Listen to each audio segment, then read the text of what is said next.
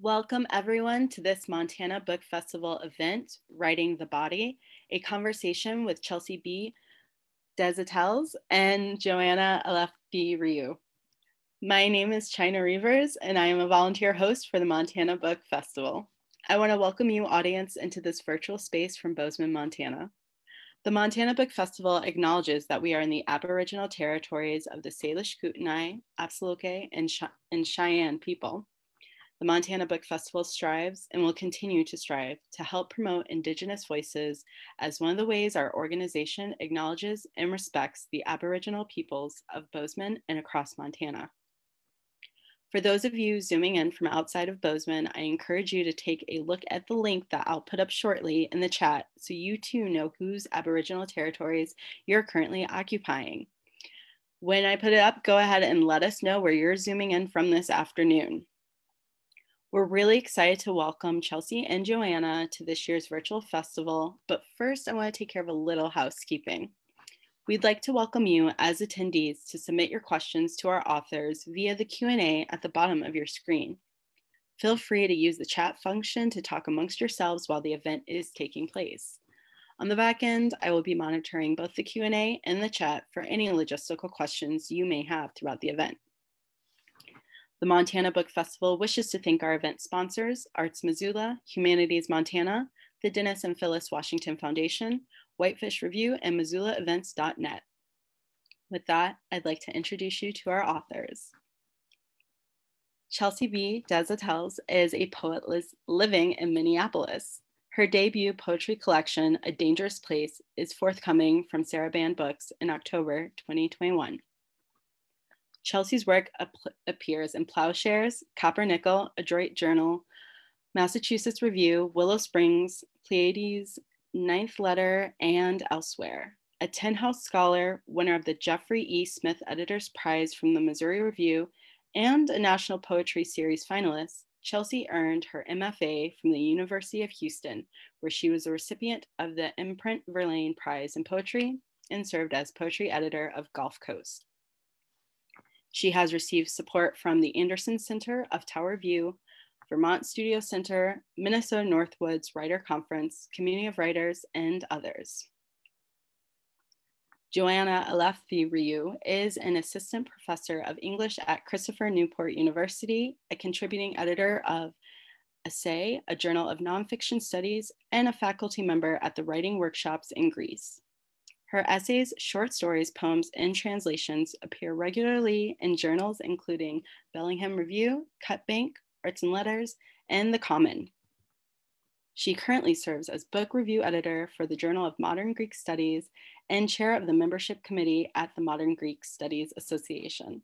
And with that, I'll leave it to our authors. Thank you so much, China, for those introductions. Thank you to the Montana Book Festival for generously hosting us. Thank you, Chelsea, for reading your beautiful poems with me today. And thank you to our audience members who are here to support and listen to us, and I hope offer us some questions. I'm going to read from my new ish book, This Way Back, which was published um, last year. It includes essays from several years, and I'm going to read the last one, um, the epilogue, which brings together a lot of the threads of the um, of the other essays. Moonlight Elegy. In the village of Asgata, I used to run up in his mountains for an hour before dark. On days when the law prohibits hunters from shooting at the thrush and rabbits, I go out into the hills and run alone. Around and around itself, a mountain takes you, up to its spine, a ridge of dips and peaks. And you can see the other side, the city spreading out toward water. On moonlit nights, you can see the footprints of God scintillating on the sea. When I would return each evening, he would ask me, Did you see the moon? As if anybody could miss the moon that showers light into a sky just turning navy. Dusk settles, but rocks and thorns remain visible in the growing dark. White light falls on my shoulders. The moon pencils sharp black shadows on the earth. Bats flap by, then vanish. I run at night because of the moon, and I stay in the hills late because of the moon. I stare a little at the moon before rounding that last bend before the house. But I would always ask him where it was, and he would point, and I would crane my neck and look because the raising of his weakened arm was his gift. As a father ages, a daughter learns how badly he wants to go on as before, though his children aren't children and nothing is as before. When I lived in my parents' house here as a teenager, my mother and father used to tell me that my running made them worry. It's dark outside. The snakes don't sleep. Hunting dogs stray. You could trip and fall, and nobody would find you until morning. My father quoted lines from Seferis, our favorite poet. And now the new moons come up wrapped in the arms of the old moon, with the beautiful island bleeding, the wounded, the calm, the strong island, the innocent. In cities, I can hardly see the sky. I live in an American city now, and night is only night. Black patches of sky, dark trees turned yellow in electric light. No one sees the stripe of the galaxy.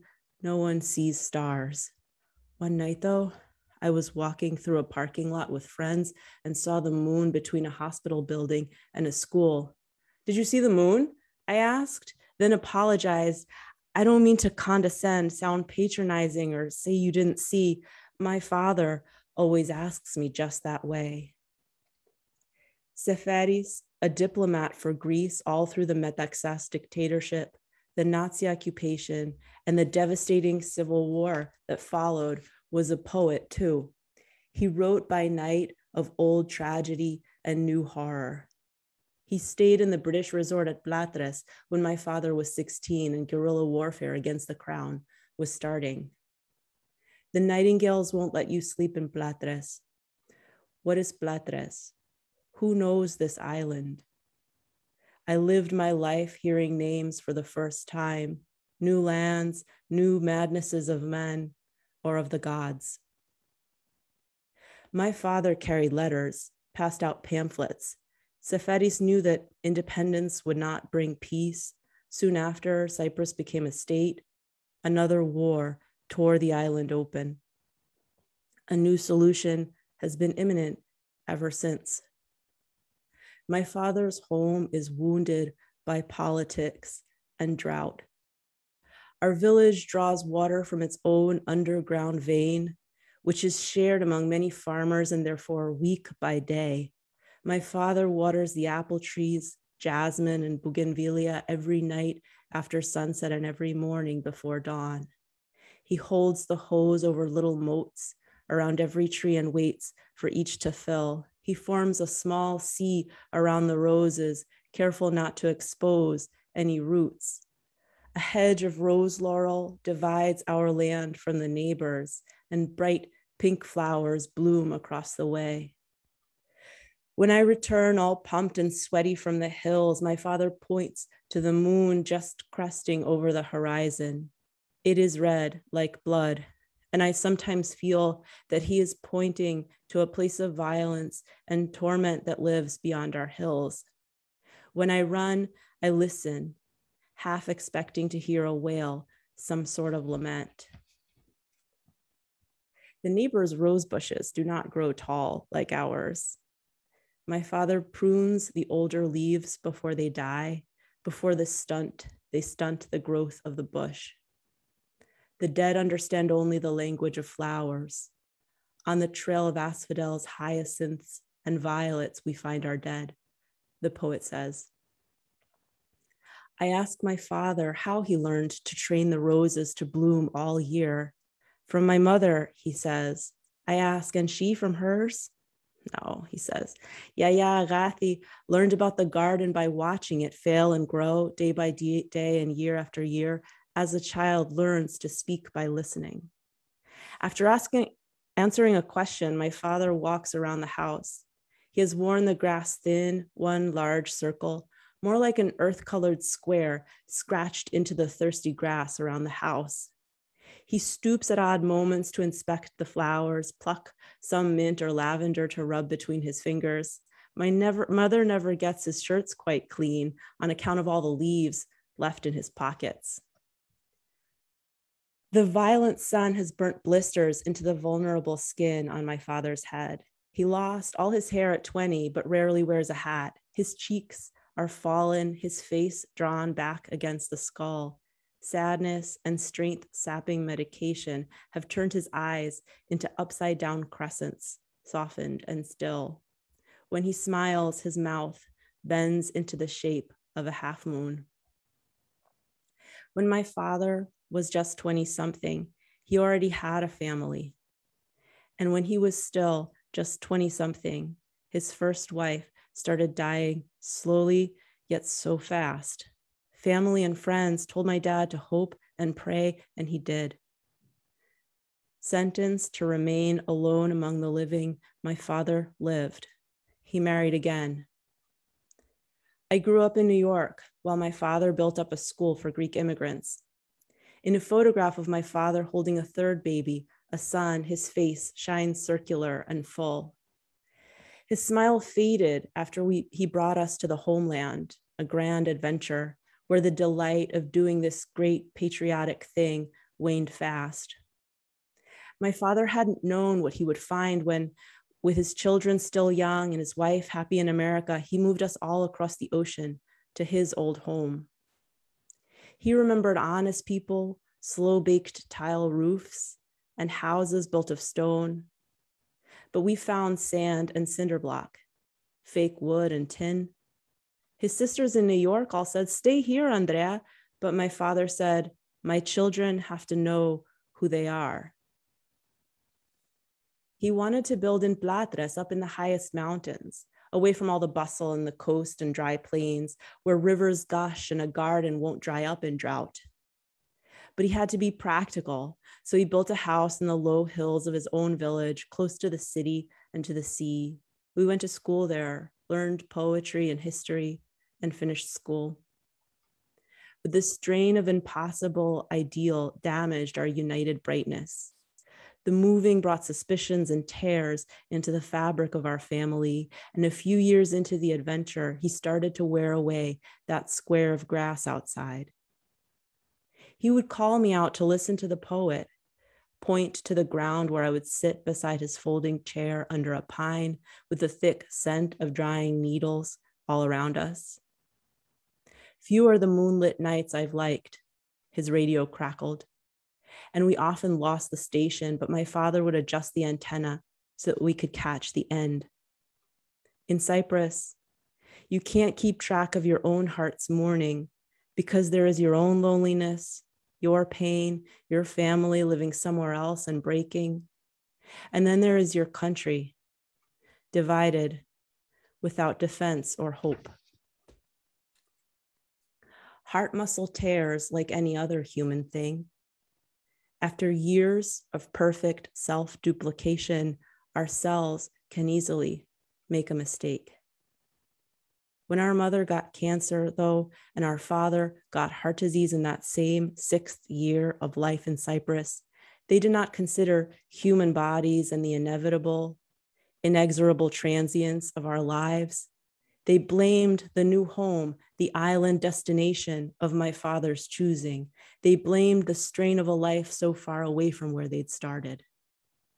On the night my mother came out of the doctor's office clean, her lymph nodes clear, the cancer gone, my father's voice shivered and his eyes flashed in the light of a street lamp, gleaming and wet. He said, Thank God, these children have to have a mother.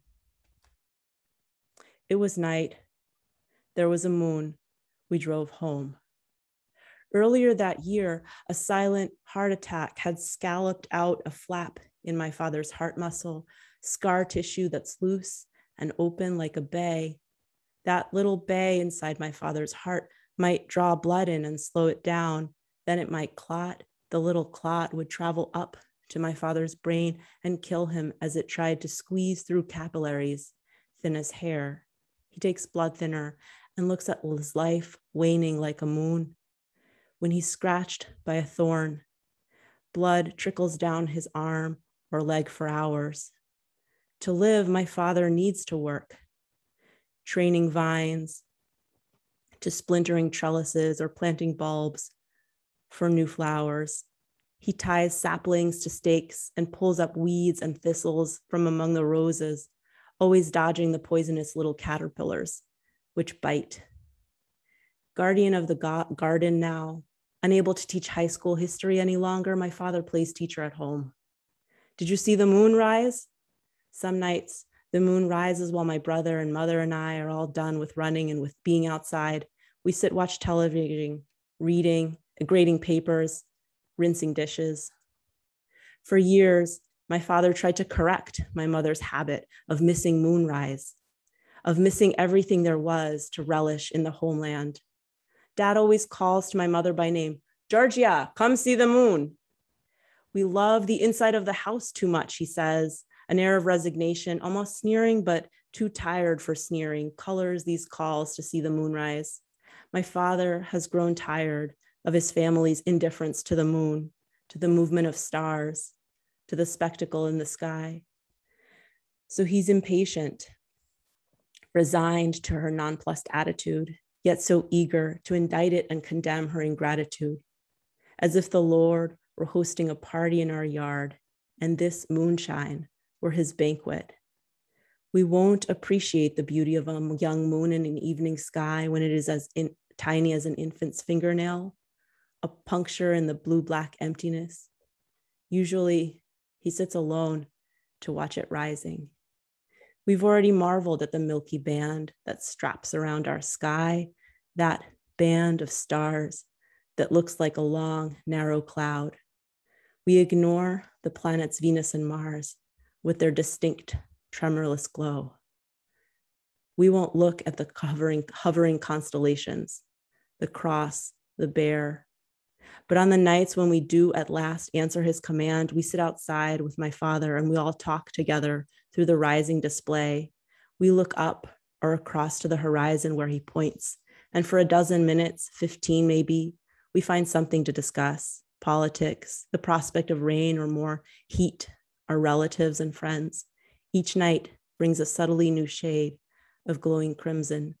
And then the sphere starts to look like hot iron or raw flesh, open for surgery.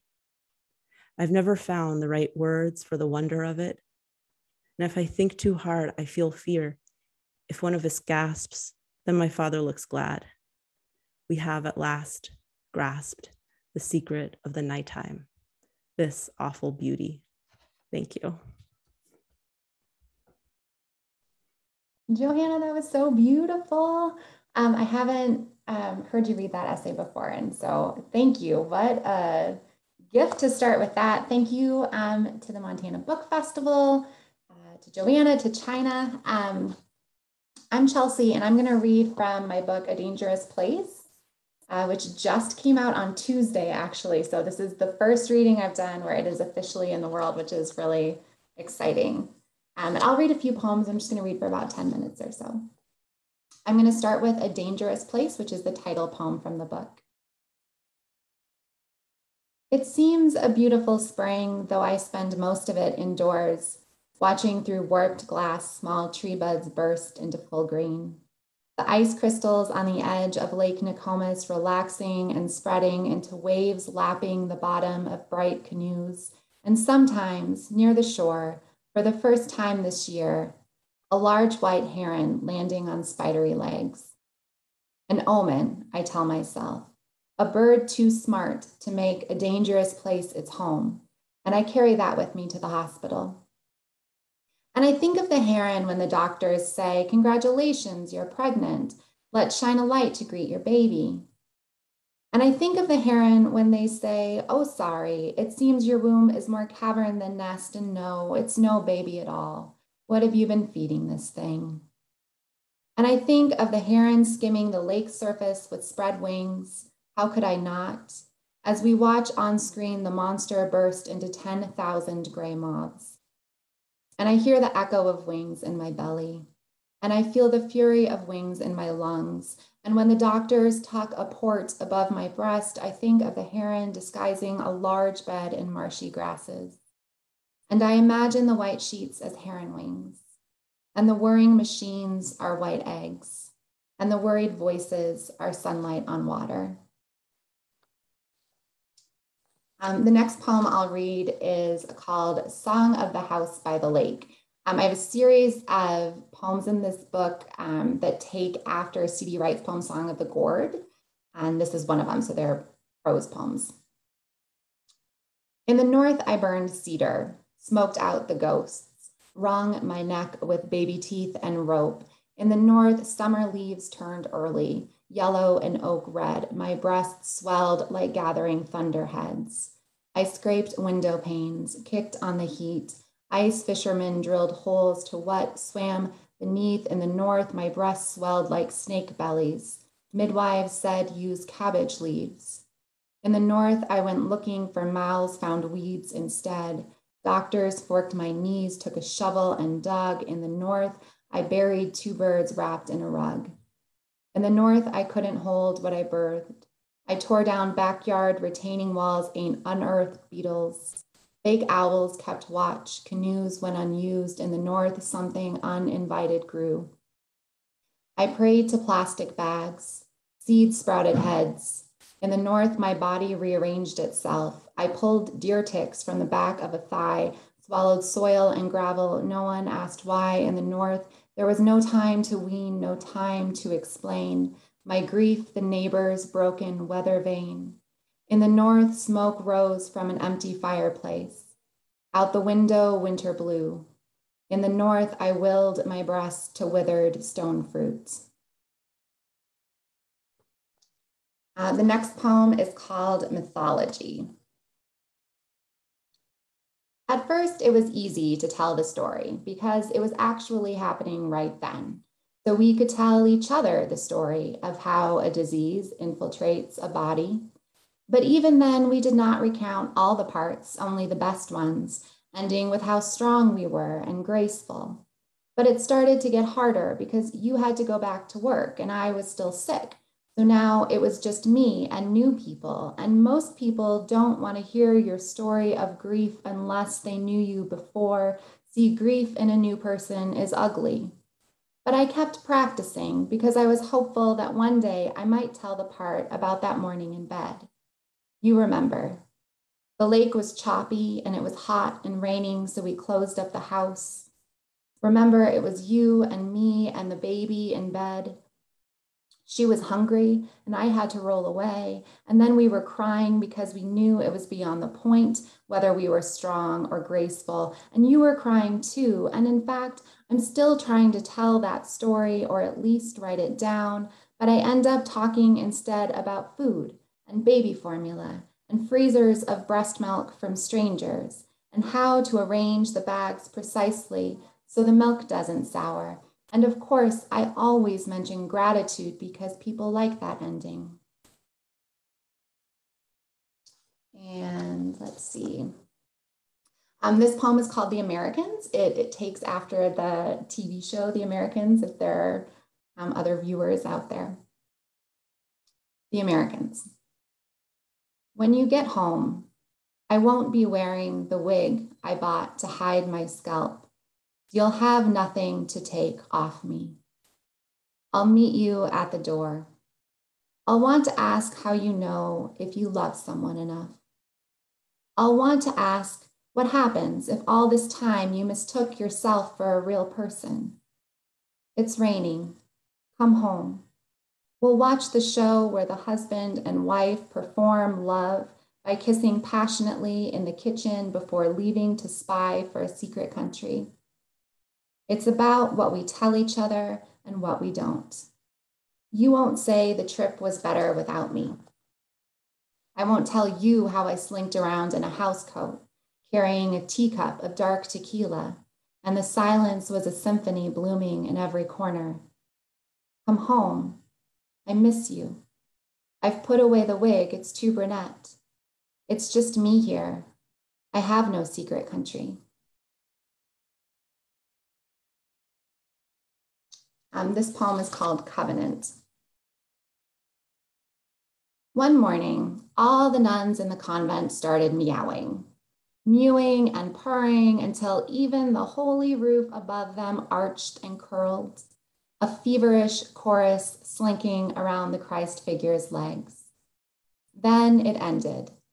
The nuns gathered for dinner in silence. But the meowing had been unbearable to the townsmen.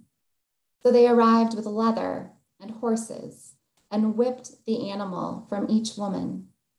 And that's the thing about marriage you take a vow, you give up your animal.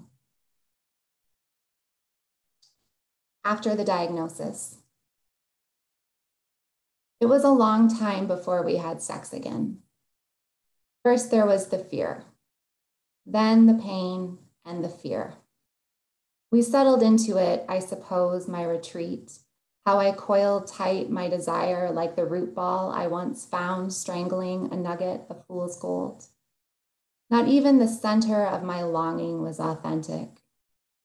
The problem with disease is that you have to keep asking yourself what's different now and what's not.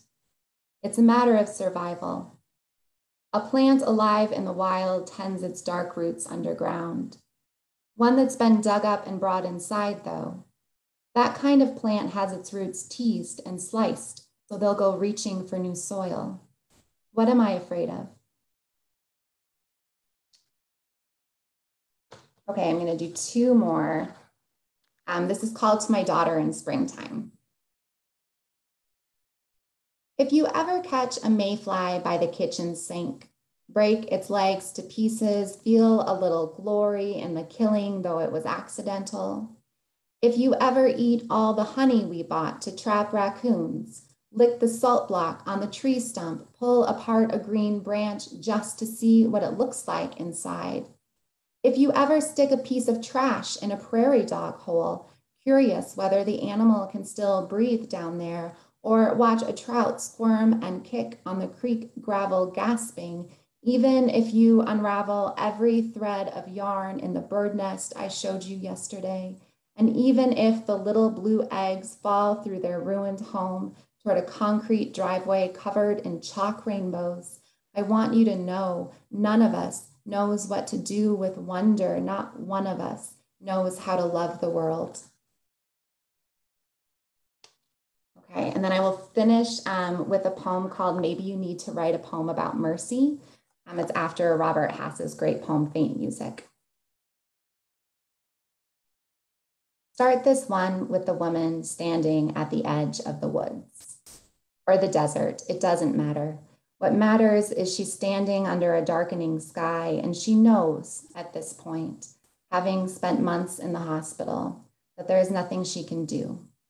No threshold between threat and tranquility, no demarcation she can draw around herself or her child for protection. Everything is actually everything else. The stone just kicked, and whatever comes next are the same.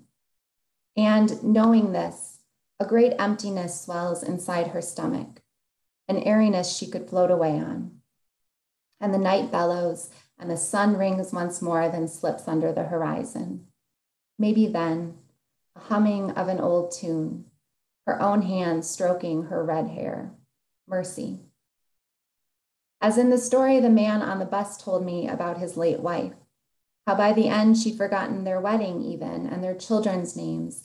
And once she went missing in the depths of winter, dead bent on saving the cattle from the blizzard that years ago left all the calves frozen on their sides. He told me his wife saw angels. It was her last day. She was at home, and the nurse called him to the living room where the bed was. His wife asked, do you see them? And he said, Yes. And together they counted the wings. When he told me this story, the man wasn't sad. He had just picked up groceries to make bread. He missed fresh bread, he said, and so he bought yeast and flour and fine kosher salt. He wanted to watch the dough rise. Because the man wasn't sad, I tried not to be sad too. He smiled and got off the bus. Out there, the street lamps flickered and the cold night grew, and off he went to warm his kitchen. I waved and wondered if there's a word for the way joy and pain are the same. How, if we're lucky, they thread us like an electrical wire cuts a tree. And there we stand, tender and green, reaching, charged, humming. Thanks. Chelsea, those are so beautiful and so profound. They get at the things that we can't say. I especially love the poem where you narrate the way you narrate the story of of having cancer and tell us that there are things that people get tired of hearing and this is sort of a, a necessary part of our lives and a fact of relationships and what I love and I feel so grateful to have literature and poetry for is that this is the place where we can tell strangers the intimate and deeper truths of our lives. So I want to ask in writing the body, in writing the suffering body, um, what are some things you maybe you discovered or you discovered about the possibility? What is possible to say? Yeah, Joanna, thank you. Um, thank you for that question. I think it's so good, and I'm really excited to be here talking with you about it. Um, I think the first thing I'd say is that um, this book came from a pregnancy caused cancer. So I was a few months into motherhood, and then we found out that the pregnancy that had um, given me my daughter had also caused cancer simultaneously. Um, so so the first thing that happened is I was in this really strange space where um, literally, you know, the act of sex and pregnancy and marriage and all these things that had been life giving and life altering in like a really beautiful way um, had also become hyper dangerous and all at the same time. Um, so I think, you know, I went to poetry to try and figure out how to talk about that and trying to figure out even what my questions were about the experience um, maybe not even reaching the answers, but trying to clarify what it is that um, was happening in my body, but also how that was going to alter um, my relationships with others, my relationship with myself, my relationships with nature. And um, so I think I discovered a few things, and they're they're worthwhile talking about within writing, but I think also just within life at the same time, which is that sort of like duality of um, of grace and danger exist with in our bodies in the same world way that they exist out in the world. Um, and that was not something that I understood before I uh, began trying to write poems about that. And then I found that sort of um, those paradoxes or complexities that I was seeing in the world around me and in my relationships literally physically existed within my body at the same time. So I think the body can be a really wonderful place to start something like a poem or an essay because um, we get to ask those same really difficult questions in a tangible, physical manner. Um, and I think that can help ground a poem. And then we get to look up from it and sort of look around and ask bigger questions about what's going on around outside us.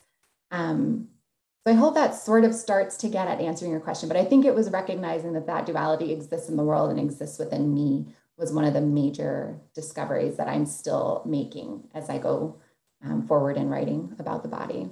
Yeah. How about you? What is your experience writing writing disease? I have the same experience that I I think um, people who haven't maybe taken the plunge into creative writing don't know how little we know going in, and I continue even after so many years of writing and publishing, I still feel frustrated about how little I know while starting an essay. And yes, it's that it's it's the two together, the beauty and the horror that I also found myself able in writing to both express and sort of it's only by writing it that I was able to wrap my mind around it. The things that maybe people don't also don't realize that we don't know the knowledge that's produced by our own poems we don't know it until we've written it and i actually i wonder we both just published our first books and i actually feel like I I exist now. I feel like I know who I am because of the book. I feel like these are the things I feel and you can't just you can't say I don't really feel them because I've written it down and I feel like I've proved and and created myself in writing in ways that before I actually published the book I didn't I dreamed about it but I didn't quite anticipate how concrete the feeling of having produced my produced my own self and my own ideas. Were you surprised at what you found? I feel like the for me the biggest joy of writing a poem is when a line comes and I'm like, "Oh, that is true." And I didn't know it or I knew it but I hadn't ever articulated like where there's that moment of discovery, right? And that's what we tell our students too that that's the pleasure. Um, but it really is. So do you did you find surprises when the book came out about how your mind works or how you're reflected in the book? the surprises come like you say with the lines and i'm surprised that i'm not used to this that used to how little control i have over it because it keeps happening and i keep getting frustrated and i'm yeah surprised at what i discover in a lot of the essays i start. Like this one started just with the moon. And actually my friend my friend um, natalie diaz the poet is the one i said that to. And it's funny like she wasn't famous when i wrote when i published this essay and now she is. And i just and she was like you just start with this image of the moon. And i'm like okay. And i didn't know that it would lead to this meditation on the body and the place. And i think writing the about focusing on the moon and just thinking she, she Natalie Diaz gave me the prompt. She's like, okay, your dad and the moon, why do you connect those two? And so, and she, she was like, I'm going to check up on you tomorrow. You have to write this. And I, that's, I didn't know. All I know was my friend who was later to become one of America's greatest poets. And neither, nobody knew that. Um, she, I was just like, discover that. And so and I think through making those connections between those really important sort of images, I discovered that I had a lot, I knew a lot about suffering and the body and land.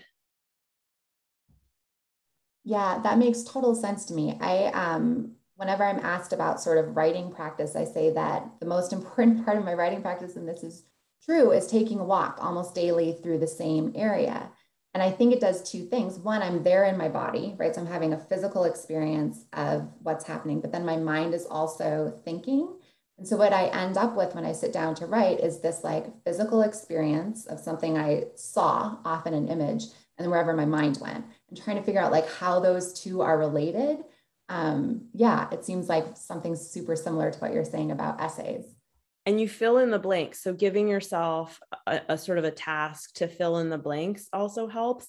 And the thing that i discovered while putting the essay collection i thought um, that i had to a book about um, writing about my greek identity because i have a lot of history as was clear in this essay. I, I used a lot of history to try and understand the way i grew up with this idea that the greeks are the best.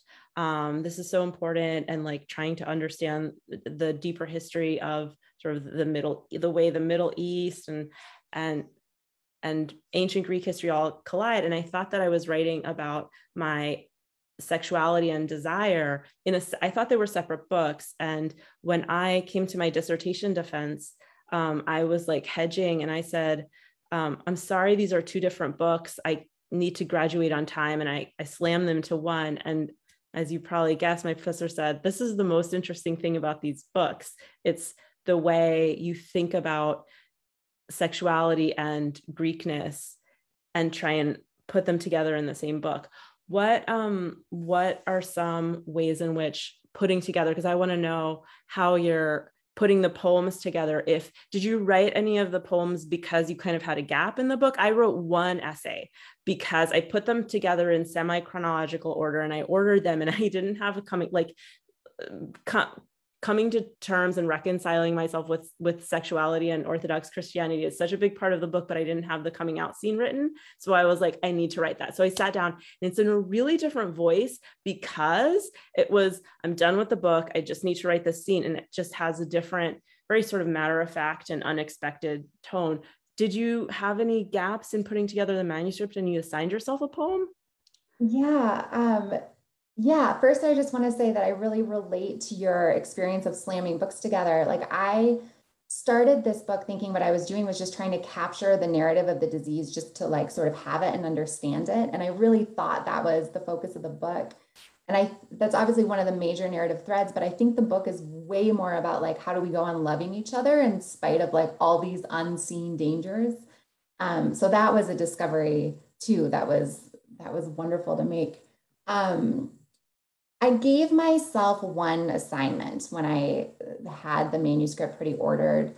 Um, I thought I needed one more poem in a series. Most of the other poems were written at that point, and I was really tired of hearing my voice talk about my body. Like I just was like over it. I couldn't imagine readers wanted to hear that anymore. Like I didn't want to write, I just needed a break. Um, so I did write one um, sort of like song poem kind of in a different voice and meant it to sort of fill in a little bit of a, a gap in terms of um, just wanting to be free of all the narrative stuff, like all the sort of baggage.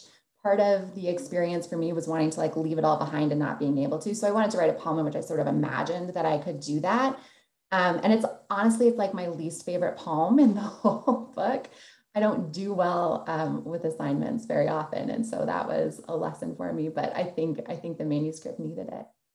Um, I want to ask you a question about. Um, we've talked a little bit about place, and your essay that you read today is so evocative of the moon and the landscape, um, and it reminds me of an earlier essay in the book too, um, in which you're burying your father. And so there's a description of body, but it moves and slips right into uh, Cyprus, right? And the and this really detailed description. I mean, you can tell that this is a person who where this land just flows is part of you, right? And is part of your identity and um, the richness with which you describe the landscape is really just incredible and beautiful. And I'm really curious about whether um, whether how you find that slippage between the body and between land, both in writing, but then also maybe in a more broad um, perspective in the world. But I'm curious about that duality that I see in your writing. This, thank you for that question and for noticing that. This is one of those things that I, as a writer, didn't, one of many things, I didn't know about myself until I had it on the page. And actually, it was really helpful reading your poems and noticing that you have a similar you experience a similar slippage you relate to landscape in a very similar way to me. And this is is one of those sort of semi universal things. I think i thought that everybody loves like dirt and earth and the experience of like i'm looking at my yard and like i have i live in a place that floods thank god not as bad as houston um, and i love like the sense of being able to like dig my ditch so that um, i feel like i'm safeguarding myself against flooding after the somewhat traumatic experiences we both had in houston.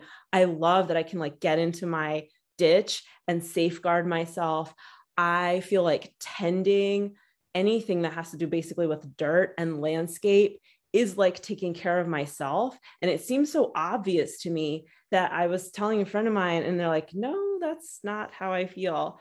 So I discovered this by about myself through writing, through just naturally finding myself interweaving like get a uh, tree being inside of a tree like i thought it was normal to like climb up into a tree and like get carobs down and like i thought we all have these peasant fantasies and we all like marx talks about alienation from our labor and i was like yeah that's all of us. We all long to be farmers right?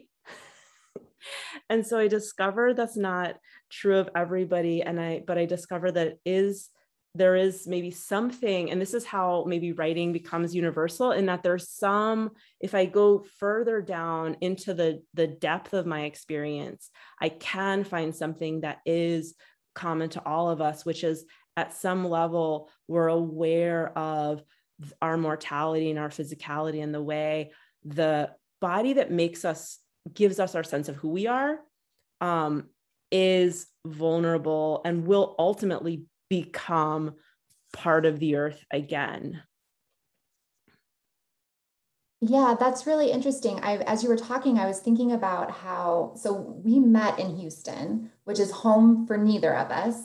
Um, and since then have both relocated to places that I think really feel like home for us. Is that true? Yeah.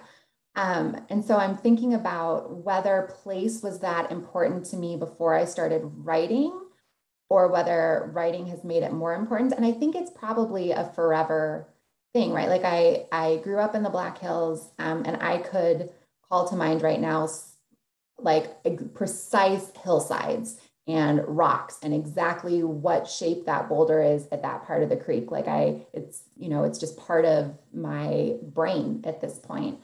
Um, and so it makes sense to me too that as we're writing the body, this like sort of physical thing, that the other physical things that are available to our imagination easily are things that we go to and that they're related to one another. I loved reading your allusions to Houston flooding and the ominousness of it. And you're reminding yourself, don't worry, it's just a minor flood. So we're probably not going to be totally underwater. And we both had this sort of, I think I'm, I was reading in your work, what I also felt that Houston was quite foreign to both of us. We were glad to be there because we both um, met so many important people. We it was part of our education but also it became like a symbol of something really important which is like houston for everybody listening like whatever you think houston symbolizes in your mind it it did to me at least while being there like the oil and the industry and the sort of using the earth mining out an indifference to landscape and a focus on sort of a utilitarian relationship to the land is very much in the more like the cultural atmosphere. So I think it became a symbol necessarily to us of the more sinister aspects of industrialization. And that brings us back to back around to your initial response to the question about um, cancer and how pregnancy, which is this source of life, also brought with it something sinister. Um, and if we weren't for industrialization and modern medicine, like statistically speaking, we would have like died as infants. So industry, this is kind of the cliche of progress, a cliche of progress, but we don't really understand it until we get into the intricacies of how the cliche about progress being a blessing and a curse kind of plays out in our real lives. Yeah, that's reminding me of my experience often of beauty in Houston. Um, I was surprised. I mean, I had imagined it as a concrete jungle, right? So when I got there and found beauty so many places, I was really struck by it. But I was also really unnerved, if I'm being honest, because so much of the green beauty in Houston is so hyper manicured right? It feels like there's no wildness there, or the wildness that exists there wasn't natural. It was like a man made wildness. Like it was very unnerving to me um, trying to figure out how to make sense of this sort of like new beauty. And I think it goes to exactly what you were saying that it's, it had sort of this sinister underlying, right? It was like so unknown to me too. Um, yeah, really interesting and it was i think impossible to the audience we had several wonderful conversations in houston but it's like we couldn't talk about this until we left we couldn't articulate it until we were safe from houston of course nobody's safe from what houston symbolizes um, and um, we're eager to hear your questions um, and maybe if um, china has any of her own so it doesn't look like we have any questions from the attendees yet. There's still time if anyone wants to submit them to the Q&A. Um, I myself have just really been enjoying this. There's been such rich conversation and I'm thoroughly looking forward to watching it again when we repost it on YouTube, um, just because everything is beautiful. Um, one quick question I have is, will either of you be releasing your books as audiobooks and will you be recording them yourselves? Because I absolutely love the way that you have read your essays and your poems.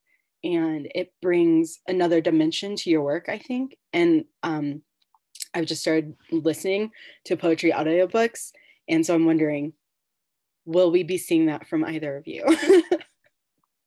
I can say that unfortunately, I don't think there are plans for an audiobook, but I agree with you. Um, hearing a poem is a whole different experience and embodiment of it. And I wish that like audio poetry books were a regular thing. Like I wish I could go for my walks and just plug my headphones in and, and listen. Similarly, I haven't been offered the opportunity yet, but I would definitely love the opportunity because yeah, and I would totally I heard that like especially with prose like book is kind of thick, it really wears on your voice, but I would I would do what it takes. I would figure it out. I believe that you have what it takes to make it happen. So, um, one thing that I really, and I think Joanna, you kind of brought this up in your first question to Chelsea. Chelsea, in the, I believe this was in the first one you read, where you mentioned um, that you don't talk about grief with someone new. Like it's only something you share with people you know because no one wants to meet grief with someone new. But these are your debuts. so you're you're introducing yourselves with grief. And I'm just wondering what your thoughts are on that, if there's any hesitation, um, and what do you think the reaction will be if if you have any anticipation? oh i love making people cry at readings i tell my like I, I i've never i've heard chelsea read a couple of times and i haven't heard her make those apologies i don't understand when po- I think poets do it a lot because they have a chance to inter- like interrupt their reading and say like this is a dark one, this is impressive, and they apologize. Uh-uh. I think that's what literature is for. I think that literature is the place um, where, and it's almost like I think if you open a book, you've consented to sort of be moved, and whereas in um, at the grocery store or in sort of polite conversation, I think there's a level of intimacy like and and dealing with our own sort of difficulties that we're not prepared for. But i think if not in literature then where? And i have the privilege of teaching in a college classroom and i urge students to recognize like be honest with themselves about like you go through reading something painful you cry. I was like we want sorry i'm really passionate about this. Sorry if i go on too long. But like we need to sort of use i'm offering up in a way i'm offering up my grief i'm offering my grief to others to help them cry about their own losses. Like we need to grieve. Again i'm extremely passionate about this. The need to grieve is enormous and if we don't that's when the problems in my opinion that's when the real problems start. So yeah we need to cry. Yeah and there's a lot of shared grief and shared grieving um, because it just forms those connections and reminds us all of the humanness of what we're going through. But yeah, and sorry, Chelsea, I think you're gonna you had something to say as well. Oh no, I just I am a hundred percent behind you, Joanna. I feel like um when you know when i'm i was writing that poem in a new place right? And trying to think about like am i allowed to tell my new friends like what i am in the middle of? Or is that like a super weird thing to talk to? Um, but that's why i wrote book instead right? Because um, it was a place for me to grieve and to put it out there. But yeah i mean we come to the page to have um, empathy and to have experiences and um, I will say though, now that the book is out, um, a few wonderful family members have read it and a couple close friends have read it, none of whom are writers. And I have gotten many times like, wow, that's like, that's really, there's some really heavy stuff in there. and that's true, there is, but there are like moments of lightness and beauty too, I promise. Um, but yeah, it just makes me giggle because that's something I've been hearing the last few days. Mm-hmm. Can I say one more thing about writing grief and writing um, disaster and writing sadness? I my definition of trauma is a potentially traumatic event that doesn't find a relational home. Okay, I got it from some psychologist, but from my in, from my personal experience and the like seven articles that I've read, it's something we become traumatized when we don't have a relational home and when we don't connect about the the loss or and that's what i believe i mentioned in the essay that i read my father's early traumatic loss. And i believe that especially men um, when they lose when they have a loss they're not they're dem- there's a demand especially in anglo-american culture but also just most masculinities don't offer space to grieve. And my belief is that we're traumatized insofar again my personal experience we're traumatized insofar as we have not found a home or a person to hold our distress or grief with us. No i think that's very true and very and something beautiful to share and also to remember as we deal with so much in our lives. Um, and we do have a question from lisa and this is also about grief. She said, thinking about grief and public mourning, has the pandemic changed your writing habits? Has it changed what you are writing? I can answer that um, quickly. I, yeah, I think the combination of having sort of the first book finalized and then being in the middle of a pandemic um, my, my work feels quieter. I think there was a real urgency when I was writing the poems in this first book. Um, I didn't quite know if, if I was safe. I didn't feel safe. I felt um, it felt really important to sort of try to express what was going on. And so there, there was almost sort of like this violent urge to get these poems out.